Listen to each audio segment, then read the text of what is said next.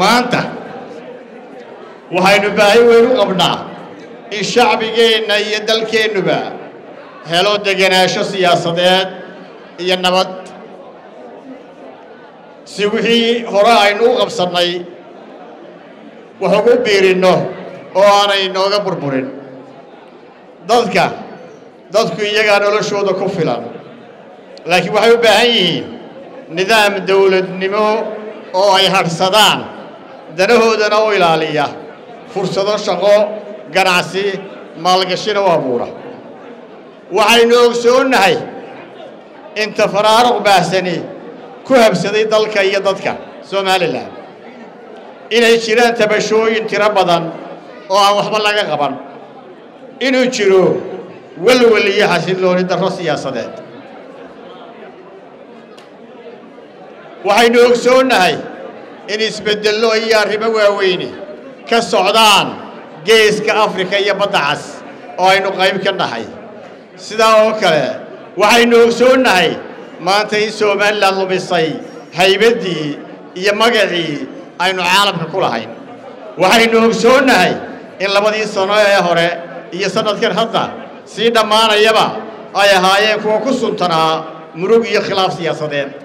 Oo ay gudaheenna ah kaas oo ay maanta ku maqan yihiin qaybo ka mid ah dalka somalilan waxaynu ogsoonnahay in dadkeenna la isu bahlageliyey la kala irdheeyey oo loo kala abtiriyey lana abuuray nac iyo kala qaybin si ulakaca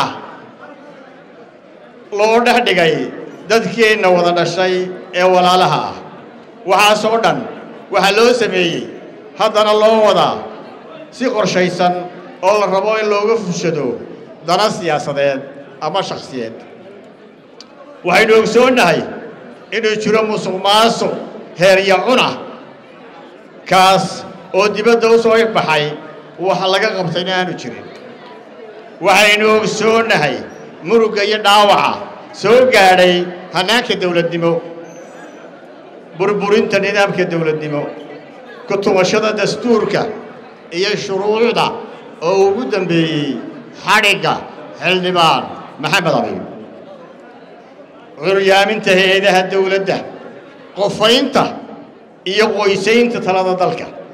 Siyaasadaynta hay'adaha dawladda iyo u adeegsiga ololaha doorashooyinka burburinta kala dambaynta iyo hannaanka dimuqraadiga ah ee tala wadaagga ku dhisnaa wiiqidda burburinta hay'adaha dastuuriga ah ee golaha wakiiladu ugu horreeyo waxaynu ogsoonnahay walaalayaal inay intaa ay noo dheer tahay waxqabadla'aan fadhiidnimada iyo hangowga lagu khasaaray ciddii talada loo dhiibtay. Intaasoo dhammi waxay noo raaca riiqdii masiibooyinkii isbiirsaday ee dalka iyo dadka ku habsaday ee aan cidina waxba ka qaban kuwaasoo ka mid ahaayeen abaarihii waaweynaa ee lafdhabarta dhaqaalaheenna dhaawaca weyn gaadhsiiyey iyagoo kumanaan kun oo qoys ay caydhoobeen covid nneteen-kii oo dhaqaalo burbur laxaad leh naf iyo mood baa ina gaadhsiiyey gubashadii suuqa weynaa ee waaheen iyo wajaale dagaalkii sokeeye ee bariga somalilan kaasoo saamayn taban ku yeeshay amniga iyo dhaqaalaha dalka. Walaalayaal maanta halka litir ee shidaalkii. Wuxuu marayaa sidii xalay lay sheegay afar iyo toban kun oo shilin. Markaa doolar u beddeshaan idinkaa garanaya. Xukuumaddu waxay tusaysaa in xilkeedii iyo waajibkeedii ay gabtay. Arrimo badan baa maanta ina hor yaalla.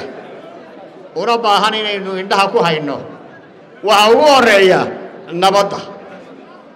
Baahida koowaad ee somalilan maanta waa nabad ha noqoto mid gudaheenna ah khaas ahaan meelaha colaadda u nugul tusaale waxay noo ah ceelaf weyn. Ha noqoto dalalka deriskeenna oo aynu ku qasbannahay inaan nabad kula noolaanno. Ha noqoto mandiqadda aynu ku naal ee geeska afrika iyo badda cas oo xaalad amni iyo siyaasadeed ka soo kordheen isku haynta dadka iyo dalka. Somalilan waxay u human tahay midnimo wada jir iyo saxal bixinta dadkeeda. Taasi waa waajib ina wada saaran. Haddaad tahay sheekh haddaad tahay oday haddaad tahay weriye haddaad tahay aqoon-yahan haddaad tahay haween haddaad tahay dhallinyaro. Dhammaanteen waa inaan meel uga soo wada jeesannaa tafaraaruqa iyo kala qaybinta xukuumadda kulmiye ina dhaxal siisay. Doorashooyinka waxaynu ognahay inaynu gallay xilli doorasho. Waxaynu gelaynaa doorasho isku sidkan oo doorashadii madaxtooyada iyo tii ururada iyo axsaabta qaranka. Doorashooyinkaasi waxay nooga baahan yihiin inaynu hareeraha iska taagno sidii ay u noqon lahaayeen kuwo hufan daafuran xor iyo xalaala. Doorashadu waa hannaan. Ama farsamo loo dejiyey in dadku ku soo xushaan cidda ay u cuganayaan inay hoggaanka u qabtaan iyagoo xaqiijinaya himilooyinka ummad kasta leedahay. Doorashooyinka wanaagsani cid walba waa u dan dalka iyo dadka. Doorasho xumaataa waxay dhashaa burbur qaran ka soo gaadha dhinac kasta. Cilmi baadhis uu sameeyey macadka nabadda ee maraykanka united states institute of peace wuxuu ku sheegay in afartii doorasho ee dunida ka dhacda mid ka midihi ay ka dhashaan shaqaaqooyin iyo murugo galaafta nabadda iyo horumarka. Doorashooyinka. Waxaa cilmi baadhis dheeriya lagu sameeyey sababaha keena khilaafiyada ka dhasha doorashooyinka waxaana la ogaaday inay u badan yihiin khilaafiyo taagan oo doorashooyinku shidaal ku sii shubaan hay'adda dowladnimo oo nugul ama aan awood u lahayn ama khibrad badan u lahayn inay hannaanka dowladnimo hagaan hay'adaha dowladda khaas ahaan kuwa amniga oo la siyaasadeeyo ama loo adeegsado ololaha iyo musuq maasuq ku yimaada hannaanka doorashooyinka sidaa darteed waa inaynu dhammaanteen u guntanno oo hubinno in doorashadu inoogu noqoto mid hufan nabad iyo kalsooni inoogu qabsoonto waxaan ugu baaqayaa cid kasta oo kaalin ku leh hirgelinta doorashooyinka khaas ahaan komishanka xisbiyada ururada iyo hay'adda kale ee ku shaqo leh sida hay'adda amniga hay'adaha amniga dhammaantood in isha lagu hayo sida ay kaalintooda iyo xilkooda u gutaan. Waxaan halkan farriin uga dirayaa shaqaalaha dawladda iyo saraakiisha ciidanka ee sharcigu ka reebay ama ka xaaraantinimeeyey inay siyaasadda ku milmaan inay ilaaliyaan sharafta iyo haybadda dawladnimo sababta aan sidaa u leeyahay waxaa weeye mas'uulka shaqaalo dawladeedihi waa adeego bulsho civil servant waa khaadimka ummadda sababta oo ah wuxuu xaq u leeyahay inuu adeega bulshada sii wato xitaa haddii ay xukuumaddu isbeddesho. Waxaan samaynaynaa dabagal iyo diiwaangelin cid kasta oo ku xadgudubta sharciga qaranku dhigtay. Saraakiisha ciidanka.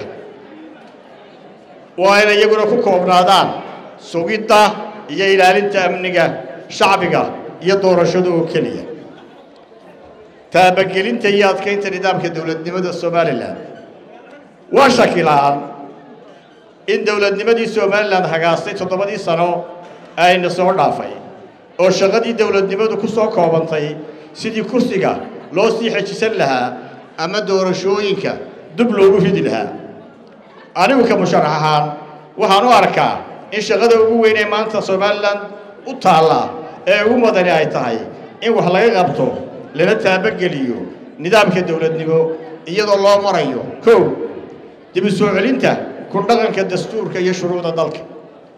Dhisidda hay'adaha dowladda horaa loo yidhi dowlad xumi dowlad la'aan bay dhaataa laakiin brofesor bulxan wuxuu yidhi dowlad xumi dowlad la'aan bay dhashaa.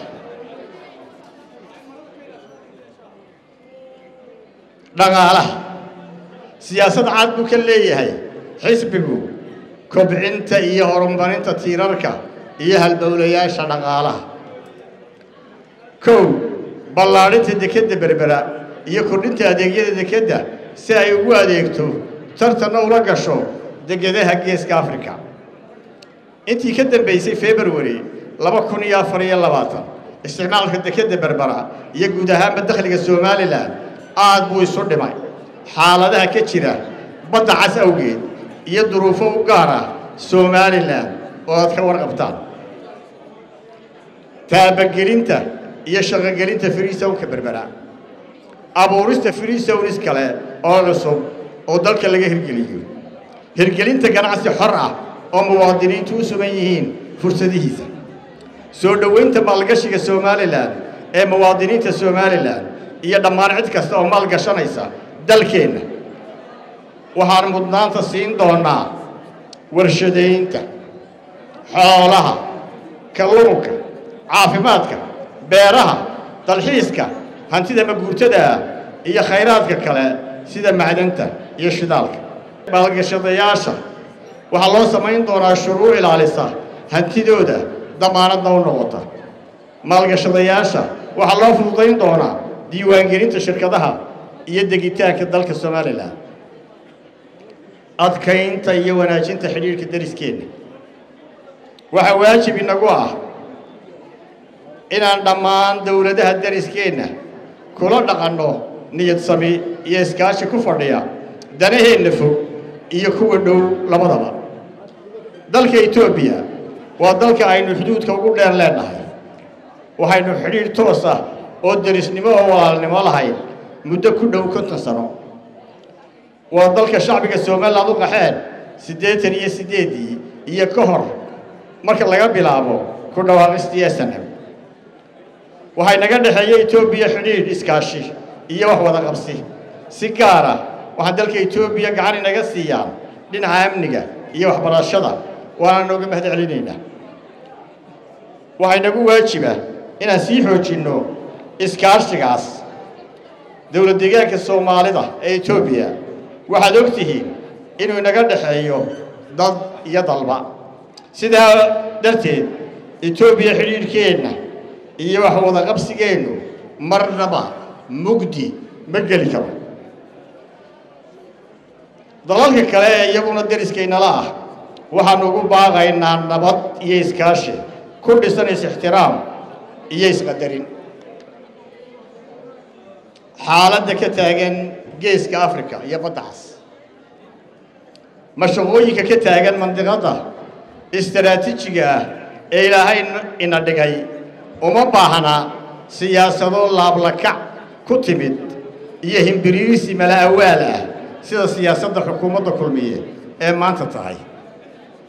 Xaaladaha ka taagan geeska africa iyo badda cas waxay u baahan yihiin siyaasado miisaaman. Fogaan arag iyo hal abuur leh. Kuwaas oo ku qotomo danaha qaranka ee durugsan iyo kuwa dhowba iyadoo loo adeegsanayo xeelado iyo taba diblomaasiyeed oo qoto dheer kuwaasoo qorshahooda aan diyaarinay farsamo yaqaankii hawsha fulin lahaana waanu haynaa. Waanad kuwa yihiin. Ictiraafka.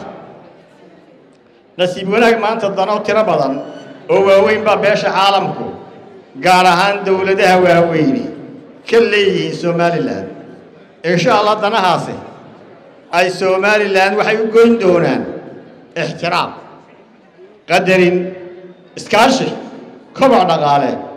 Somalilan waxaan ka dhigi doonaa insha allahu dal ku sifoobay qaangaadhnimo iyo bisayl siyaasadeed kasban karana saaxiibo badan iyo aqoonsi caalami ah waxaa noo qorshaysan inaan hagaajino siyaasaddeenna arrimaha gudaha oo wax weyn ka tari doonta siyaasaddeenna arrimaha dibadda. Taas darteed waxaan mudnaanta siin doonnaa midaynta shacbiga somalilan sugidda ammaanka ku dhaqanka dastuurka iyo shuruucda xurumaynta xuquuqul insaanka iyo xorriyatulqowlka iyo wanaajinta iyo la macaamilka adduunka kuwaasoo saldhigu noqon doona in somalilan kasbato aqoonsi caalami ah ballanqaadyadayda kow soo celinta rajada shacbiga somalilan oo xukuumadda kulmiya ee maanta rajabeel iyo quus ku riday. Midaynta iyo walaalaynta shacbiga somalilan si uu awood buuxda ugu helo difaaca qarannimadiisa. Daaweynta nabarrada iyo gunaadka talaxumada xukuumadda muuse iyo ka soo kabashada diifta colaadaha dibudhiska iyo tayaynta ciidanka qaranka. U kordhinta mushaharka ciidanka laba boqol iyo konton bersent ama boqolkiiba laba boqol iyo konton. Kor u qaadidda adeega caafimaadka ee ciidanka. Iyo taabagelinta dhismaha guryaha ciidanka qaranka. Si loo helo ciidan awood u leh difaaca qarannimadiisa barnaamijkayga siyaasiga ahi waxa uu ku dhisnaan doonaa tala wadaag wax wada lahaansho waxqabad hufnaan daafurnaan ganacsi madax bannaan dhiirigelinta maalgashiga iyo abuurista fursado shaqo insha allah barnaamijkana berri baa la soo bandhigaya gunaanad sifo kasta oo xukuumadda kulmiye dadaal iyo tacab weyn u gelisay inaan dalkan doorasho ka dhicin ilaahay mahadii maanta waxaan gallay xilli doorasho madaxweyne muuse biixi waxaan ku hambalyaynayaa inuu bilaabay ololihii doorashada oo doorashada ka maagisteedii iyo isgiijintii ka soo dhammaatay waxaa shacbiga somalilan ugu baaqaya. Inay u diyaargaroobaan saddex iyo tobanka noofembar doorashada isku sidkan ee madaxtooyada iyo ururada iyo axsaabta qaranka. Waa inaan gacmaha isu qabsannaa inay qabsoonto insha allahu doorasho xor iyo xalaala. Hufan oo daahfuran. Waa inaan dhammaanteen komishinka doorashooyinka qaranka siinaa gacan buuxda si xilkooda u gutaan xukuumadda somalilanna waxaan ugu baaqayaa inay ixtiraamto oo ilaaliso madax bannaanida komishinka muwaadin kasta isagaa xaq u leh cidda uu codkiisa siinayo. Waxaase shacbiga somalilan ka codsanaya uguna baaqayaa si somalilan u badbaado inay codkooda siiyaan isbeddel doonkaan anigu hoggaaminayo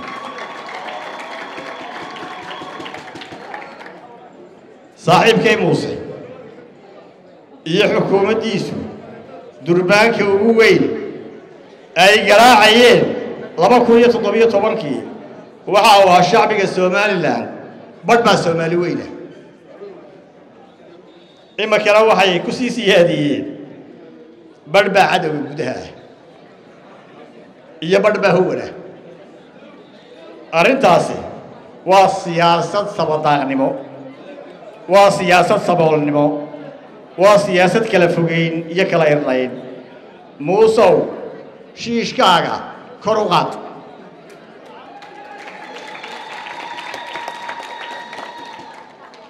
Waxaan hadalka ku gunaanadaya madaxweyne durbaankii aad tumayseen idinka oon ogeyn buu gunta ka dhacay. Oo dabooshamay nasiib dafa welise gawda ayaa ku haysaan oo garaacaysaan. Durbaan dalooshamay madaxweyne filimkaasi waa filim la daawaday oo aan xiiso badan shacbigu hayn madaxweyne waxaan leenahay jiib nomtani waxqabadkiina shacbiga u soo bandhiga.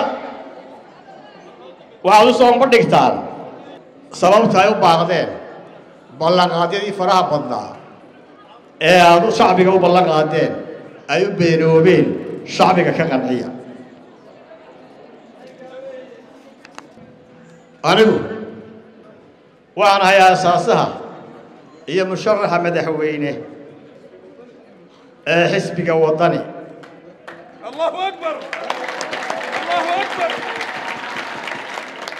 waxaan ahay musharaxa madaxweyne urur siyaasadeedka ka. Ah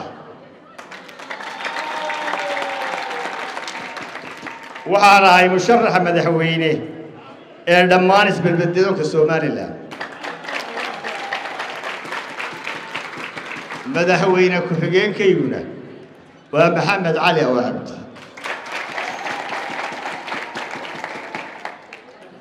muuse waxaan leeyahay madaxweyne waxaan diyaar u ahay inaynu si hufan u tartanno. Waxaan leeyahay madaxweyne almiidaan waasi somaliland ha noolaato. Somaliland ha noolaato. Waa mahadsantihin